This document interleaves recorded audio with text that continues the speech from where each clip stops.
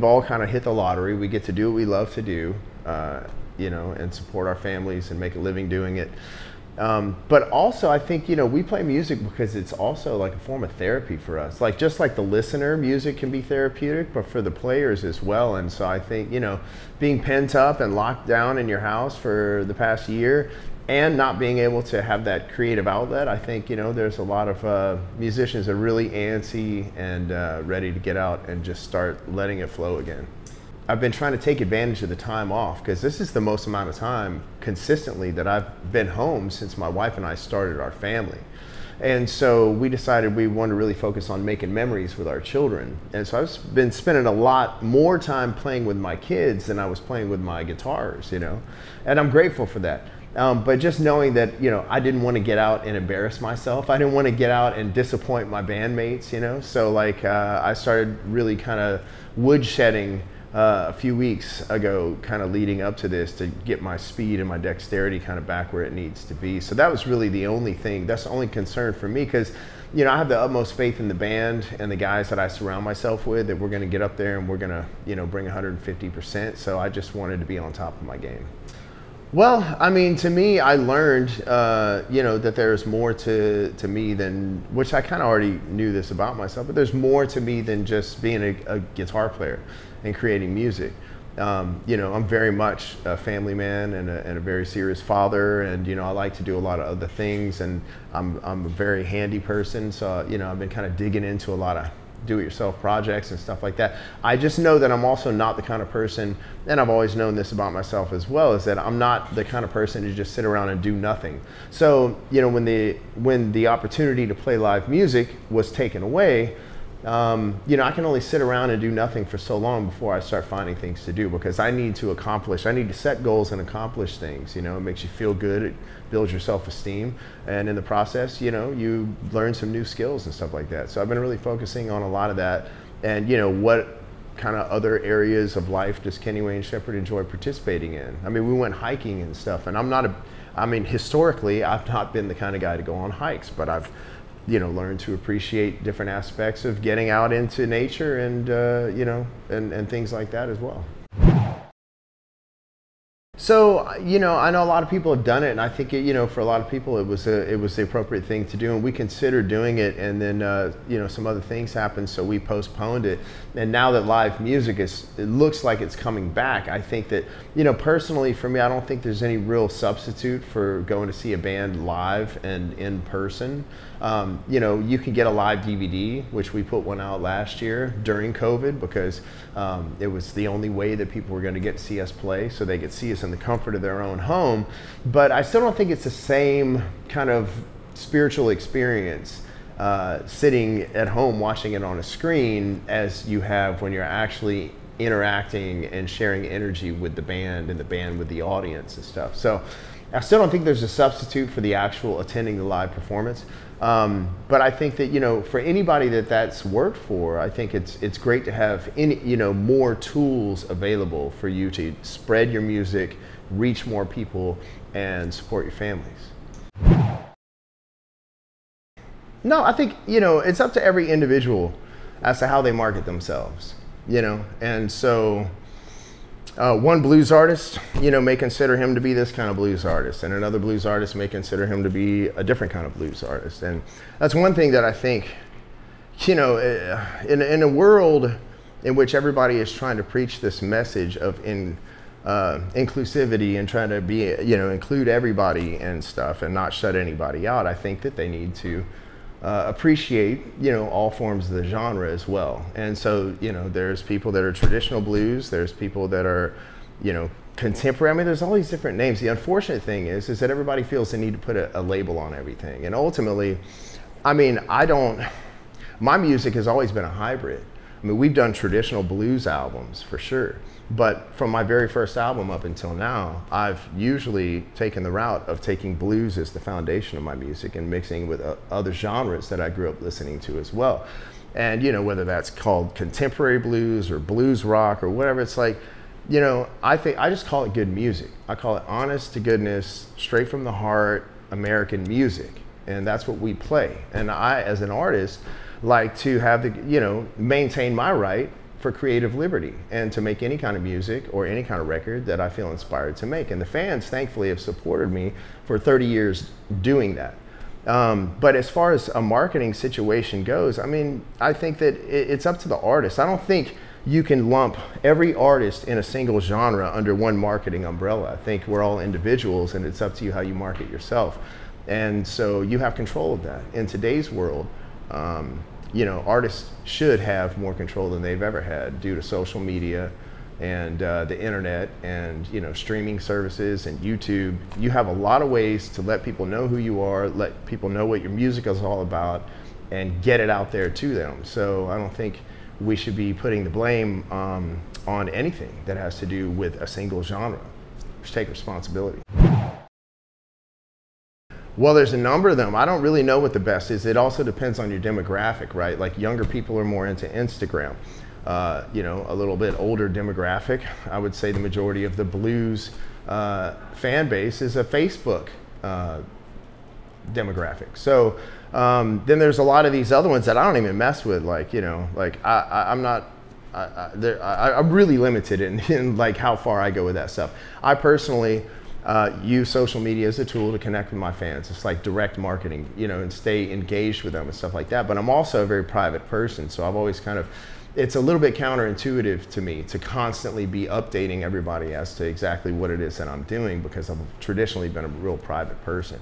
But as far as music, I mean, there's SoundCloud, you know, then you have like uh, YouTube and, you know, Facebook videos, and you can put music on all of that kind of stuff. So it's really kind of like, I think a lot of it has to do with what's the age group that you're trying to reach. And that is, that kind of determines the most appropriate uh, social media network for you.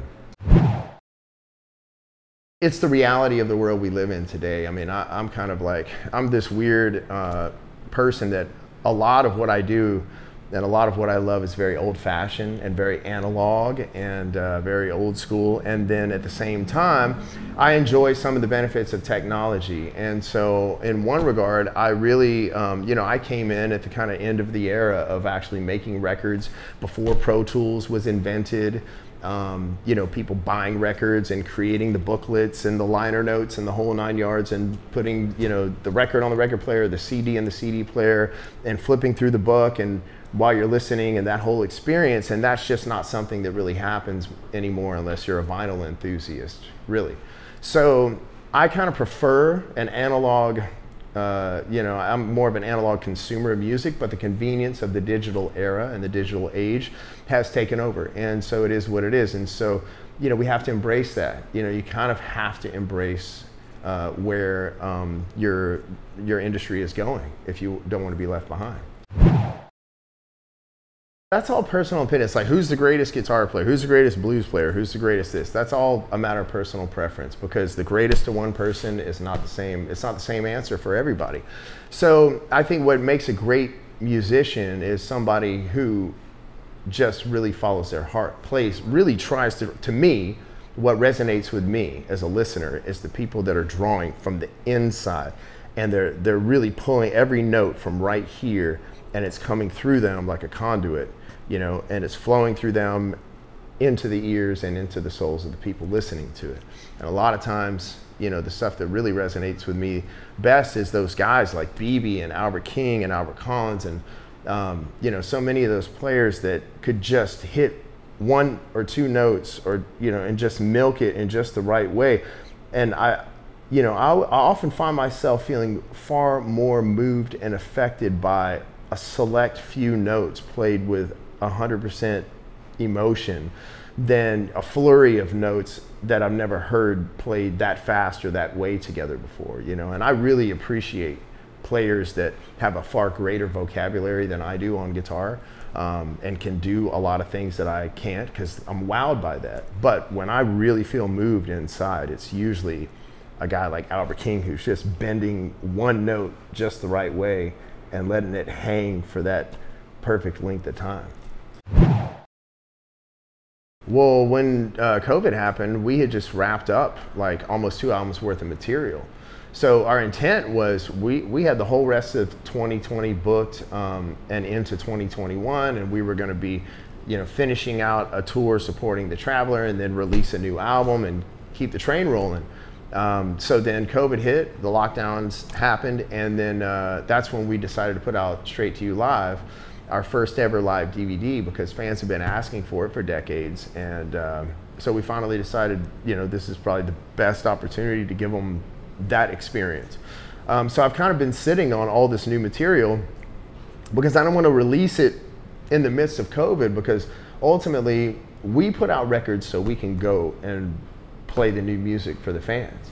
So it, it seemed to be, um, it was just, didn't seem, it, it seemed to be kind of pointless to me to put a whole new record out in the midst of all that if we couldn't go out and support it and, and bring the tour to the fans. So as long as things continue, as the, the way that they're looking, like things are going to start getting back to normal and live music is going to start becoming a regular thing again. We get through the rest of this year in 2021, everything is still good um, for, as far as touring goes. Then I anticipate we're going to start releasing new records, you know, over the course of the next year for sure. Here's the thing I've always said from day one, um, in regards to all awards, like, I never woke up as a kid and picked up my guitar saying, I really hope I win an award one day for this. You know, I picked up the guitar and played music because, because I love to play music and I love to play the instrument. So the, the awards are really, it's kind of like secondary. You know, ultimately, I feel like the approval of the fans is far greater than the approval of a board. You know what I mean? So, I mean, I'm not going to say that I think it's great. I think anything that supports the genre is great um, because we need more awareness. And uh, there's all these artists. I mean, there's a lot of tremendously talented people that that perform and create music in this genre, and I think they all really should be celebrated. Um, so the awards help bring awareness to that. Um, so you know, if they choose to nominate me, I think ultimately the people are the ones that you know, I think are supposed to be the ones that choose that. So we'll let the audience, you know, speak for that. I'm not going to necessarily reject it. I don't really know, to be honest with you. I kind of have to see how things go. Well, you know, there's been a lot of things going on uh, in the blues community that uh, just recently that have been, you know, somewhat controversial, somewhat difficult for a lot of people to talk about. Um, and without digging too deep into that stuff, there was there's just been a lot of divisiveness, a lot of people trying to paint certain pictures, um, a lot of people with their own agendas, um, maybe on both sides of the fence.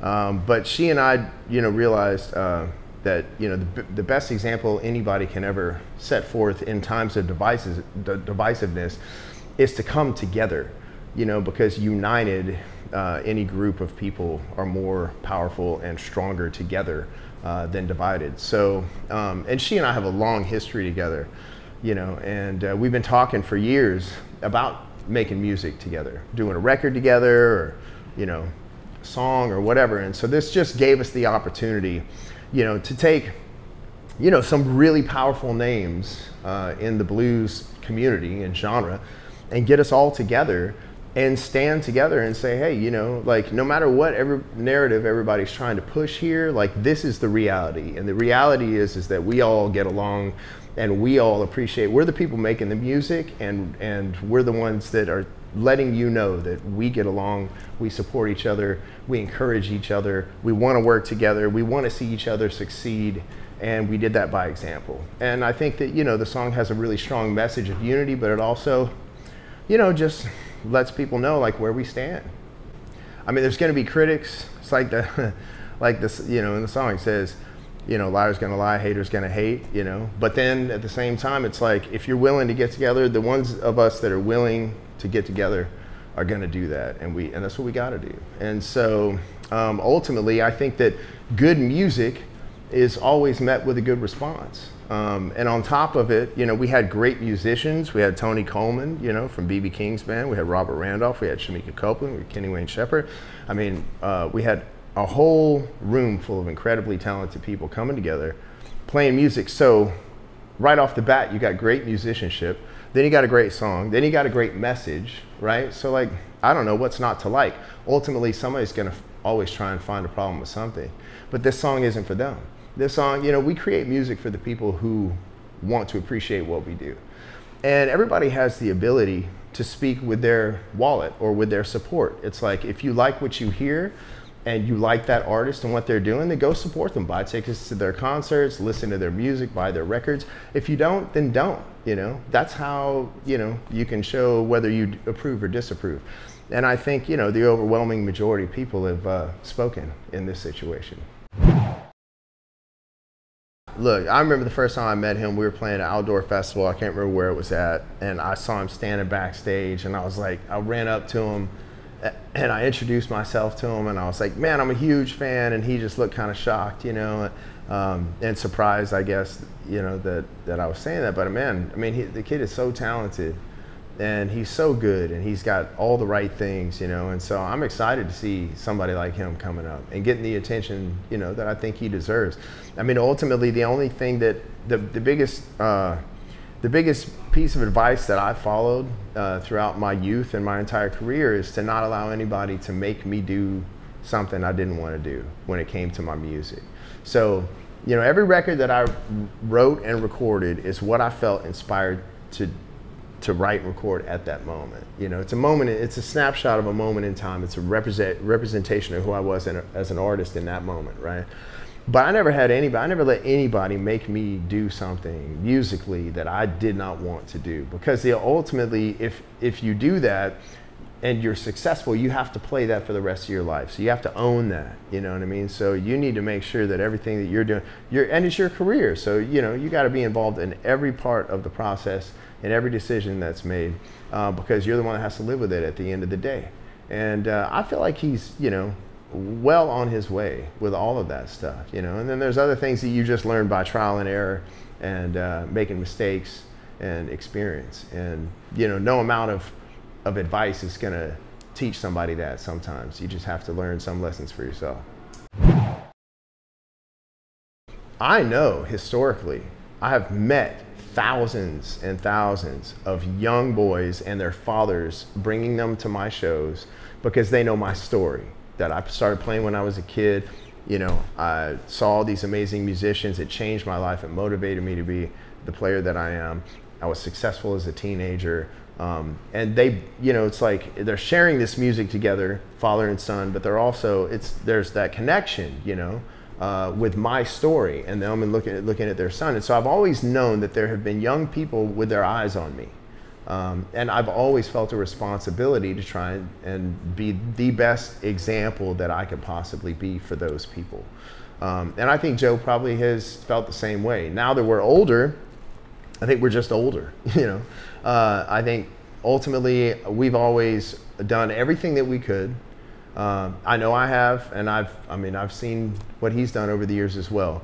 Uh, to spread the word about blues music, to give credit where credit is due uh, to the musicians that inspired us, that paved the way for people like us, um, that created the genre, um, you know, to give back to people in the genre. And uh, I mean, you know, I know I've taken it very seriously and I've gone out of my way. I feel like my history and my record uh, speaks for itself in that regard, and so does his. So yes, I think we take that seriously, um, but that's also kind of like what being a responsible person is all about.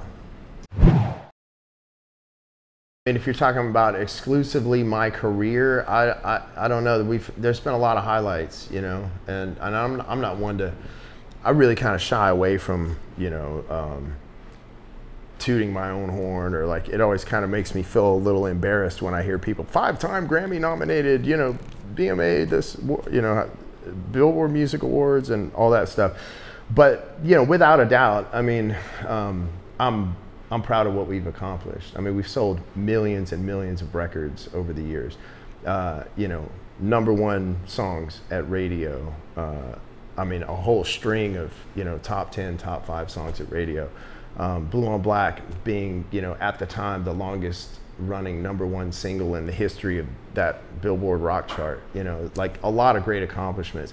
I think ultimately, though, if you look at all those, none of them, and this might sound like a cliche answer, but it's the absolute truth. None of those things ever would be possible without the support of the fans. and amassing and acquiring through the music that we've recorded and performed over the years a fan base that is so large that has supported us for 30 years now. Um, to me, that's the biggest accomplishment. You know, we don't have fair weathered fans. We have family.